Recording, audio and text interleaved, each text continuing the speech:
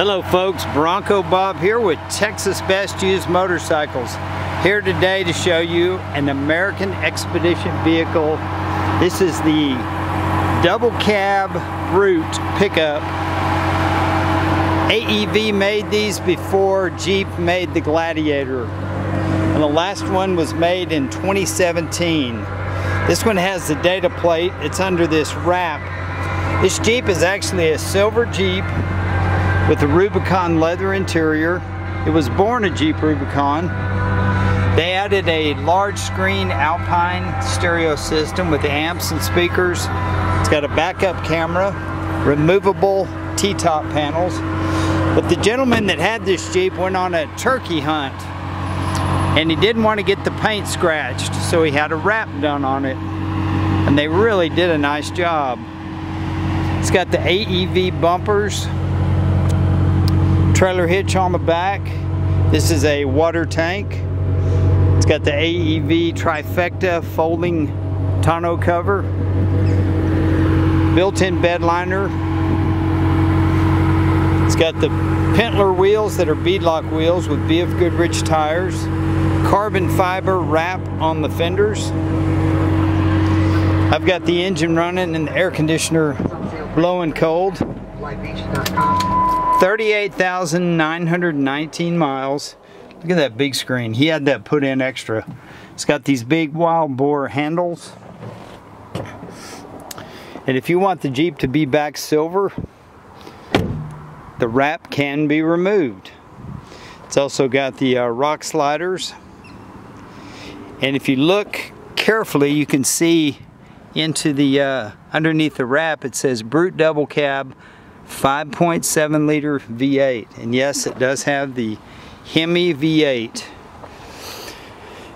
and you know as time moves on and electric vehicles start coming into play a little bit more having one of the last of the old school vehicles with a V8 engine I think the value is going to stay very very consistent. Something you can drive enjoy. It's very capable and you're going to have the value because of the V8 engine install. It's got an Optima battery, rigid lights, a nice winch tucked into the AEV propri proprietary bumper. You got running lights, fog lights, a Schrader valve for an air hookup. And this one must have been towed behind an RV or something. It has uh, towing set up. We don't have the tow bar, but you could buy one but it's got the brake deal it's wired for the lights. Uh, that's a frame mount deal that's heavy duty. So if you want to flat tow this behind your RV it's already already kind of set up for it. It's got the Visalign projection headlights. Let's close this hood. This is the uh, ever famous AEV heat reduction hood. And they do that on all their Jeeps it's kind of a highline setup and it also helps that V8 cool because it's breathable right there. They carbon fiber wrap the center of the of the hood but it's just really a, a cool rig and if you like green you're not going to see another one like this especially not an AEV built with this color and again, if you don't like it, you got perfect paint underneath, preserved, and it's a kind of a silver metallic color. Just kind of want to walk around and show you.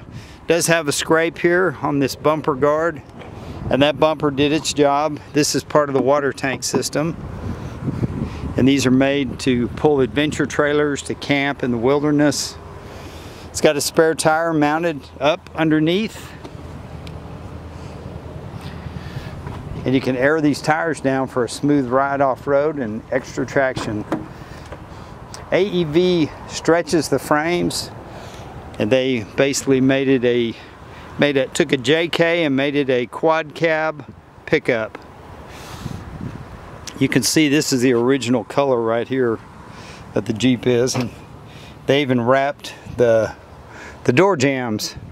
But this is a non-smoker, no kid, no dog very, very nice Jeep. and a one-of-a-kind truly. And AEV quit making the double cab brutes in 2017 because of competition with Jeep's Gladiator. But this is a lot more machine with the Bilstein shocks. And they have little reservoirs on them for cooling.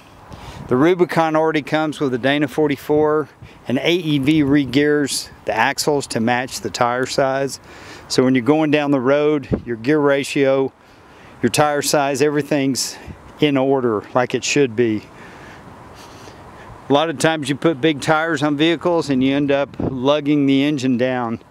Well, they got the gearing basically back to stock with considering the 35 inch tires.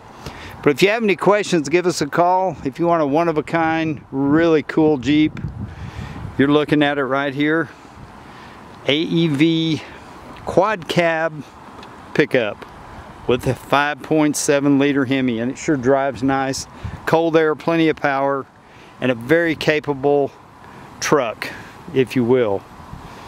But have a great day. I'm Bronco Bob wishing you happy trails and hope to see you in our showroom soon. I'm going to take a few more pictures.